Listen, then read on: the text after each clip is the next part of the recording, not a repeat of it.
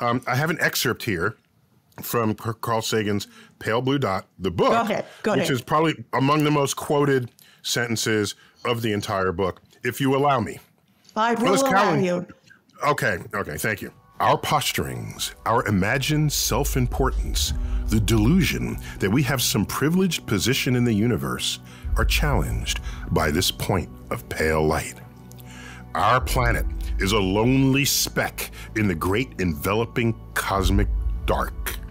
In our obscurity, in all this vastness, there is no hint that help will come from elsewhere to save us from ourselves. And it goes on and on and on, but that and that's just representatively beautiful of a very long passage, and it's a take on that pale blue dot.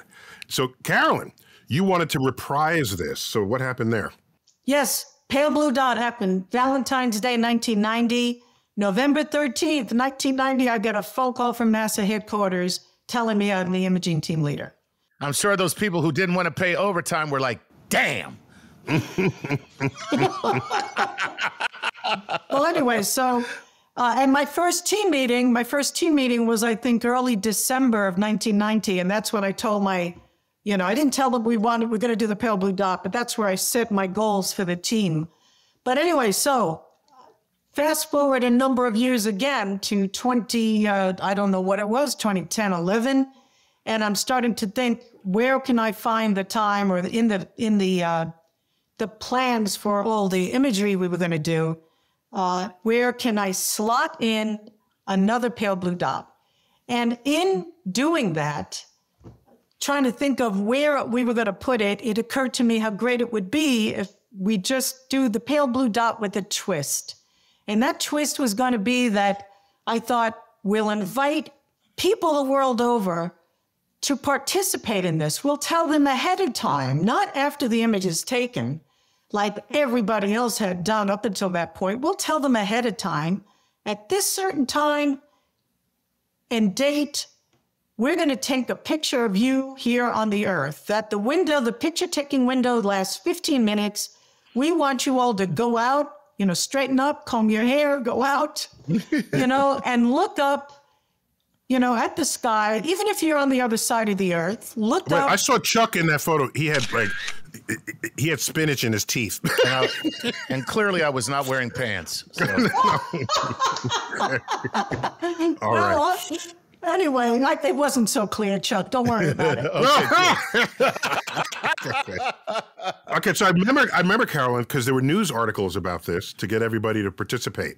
people did participate and we said you know just go out look up at the sky think of all of us here on this planet all of earth's creatures on one planet think of our isolation and the blackness of space and think of how precious life is and our own lives are on this planet and just smile at being alive on a pale blue dot What's up, Star Talk fans? You know, a lot of you have reached out to me and asked, when am I doing a comedy special? Well, guess what? It's happening. That's right. This fall, I'm taping my first science comedy special here in Manhattan. So if you're going to be in the area, I want you to be there because I need the most science literate audience that I can have, and that means you. So go to chucknicecomic.com and use code StarTalk for your exclusive chance to make a pre-sale purchase for the tickets. It's a very limited supply of tickets, so you want to do it as early as possible, and that means now. ChuckNiceComic.com, use code StarTalk, and we'll see you this fall with the rest of the Star Talk gang. Carolyn Porco, Madam Saturn, I got a question for you. I'm told July 19th, 2023 is the 10th anniversary of what?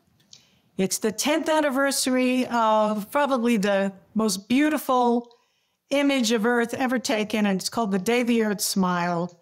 Uh, and we took Earth's picture from uh, basically from Saturn, a solar eclipse at Saturn. Saturn was eclipsing the sun. So we got the chance to look close to the sun at the Earth without the sun impairing the picture, getting scattered light and so on. And it was special because we, uh, like no other Earth picture before, we had invited the uh, the people of the world to participate. Told them to go out while the picture's being taken, look up, think about your position on this beautiful pale blue dot, and think about how precious your life is, how how unique our planet is for for being the host of life in our solar system, and just smile at the sheer thought of being alive. And that's what happened. Take that as a selfie, Kim Kardashian. no, well, if uh, was Earth twerking, that would that would boost the social social media value if Earth was twerking during that selfie. There could have been a lot of people twerking. We wouldn't have known it. we So, have Carol, you were head of the imaging team of Cassini that took the photo. Did did this require some convincing of NASA to get them to agree? Because the original pale blue dot uh, from back in Voyager, I knew had some resistance uh, because of the cost, and it wasn't in the original plan, and there's no obvious science to come of it. But it certainly has cultural value, and I think it's high time NASA recognizes its role on the cultural landscape, not just the scientific one. Uh, well, no, we didn't. We didn't ask permission for this, and I, you know, I didn't. That's how to do it.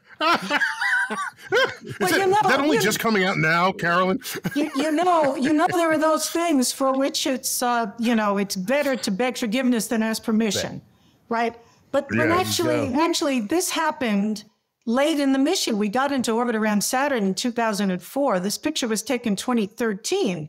So that was nine years after the start of the mission. People had sort of relaxed about these things, and and more than that, Then you snuck it in when they they were relaxed, not looking. That's when no, you snuck no it in. one, no one knew I was going to do it. But I, what I did was I took, I, I piggybacked on someone else's observation. There was going to be a mosaic of the entire uh, Saturn system with the, out to the rings anyway.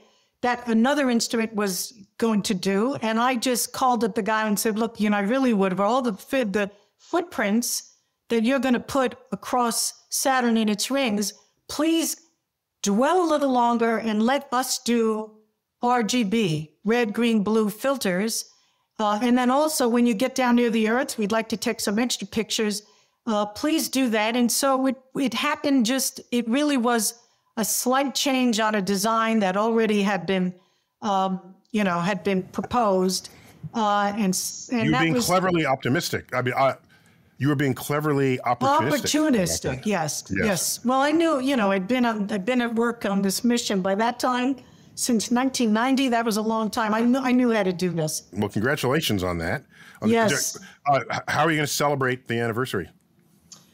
I don't know yet. I might, uh, I don't know. I might just go out and like wave at the sky or something. I don't know. I don't know. We had people, you know, we had people call into uh, write to on the website that we set up to uh, collect responses, and there were so many lovely responses from people. Uh, I remember a man saying that he and his daughter, ten years old, they went out, you know, during the the event, and they had uh, the guy said, and yeah, I raised a glass of wine, and Phoebe, her name, raised a glass of fizzy pop, and we laughed and danced and hooted and hollered and all, you know, had a great time. So that's a good way to celebrate. And now Oh. she's 20. Well, now she can join. Yeah, that's right. Now she's 20. Yeah. Right, right. Yeah. Yeah. So I, no, really, it's, it's, uh, I was so glad I got the opportunity to do that. It was, um, something I had long wanted to do. Uh, I wanted to do it from the very beginning of being uh, selected as the imaging team leader, and I got to do the Cassini imaging team leader, and I got to do it. now, now, remind me, you started life as a rock jock, isn't that right? No, I started life as a rings person, a planetary rings person. Oh, you were so you were planets all along. You didn't come in as a geologist. Oh, so wait a minute. Rock Jock was geologist and not like a morning DJ? Okay.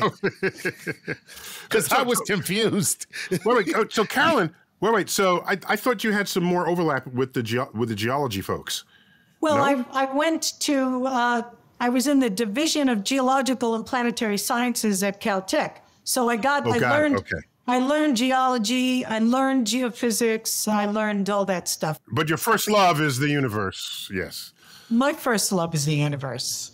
And I would encourage, like you, you tell people to go out and look up. I would say, if you want to have an overview effect, you don't need to go up in a Jeff Bezos spacecraft. You just go out on a dark night with no moon, look up and look at the Milky Way. And if you stare at it long enough and you kind of force yourself into this frame of mind, you can convince yourself you are looking at a disk, a gigantic disk of stars, your home galaxy. And you will know right then you're on a spaceship flying through and gazing upon this, uh, this incredible sight, which is your home. That's the overview effect. So that's what all these wonderful pictures of the Earth taken from afar do. And you can have it whenever you want. From a, You're saying save your money for the seat Yeah. on the Bezos oh, flight. don't spend your money, don't fall Don't to that. spend your money. It, it's for free. You can have it for free. Have it for free. And if The you get a telescope and you look up, you, you, you might actually see Elon Musk's Tesla while you're not Oh, no, spending the one money on on, the that way to Jeff Mars. Bezos. Yeah, I wish he was in it. Yeah, no, the aliens, because there is a, he had, does have a mannequin in it. I'm just trying to imagine aliens coming upon Earth, and they first see a Tesla, right, with like a mannequin, but they don't know it's a mannequin. Maybe they think that's like a petrified human, right? well, I got to tell you, these humans are pretty damn stiff. I don't know if you want to and go they're made there. of plastic too. Yeah. These- who wants to go there? That is not a And you know, party af- place. After after the Earth like just um, falls apart, we may all we may all end up plastic. Yeah, All right. yeah, yeah.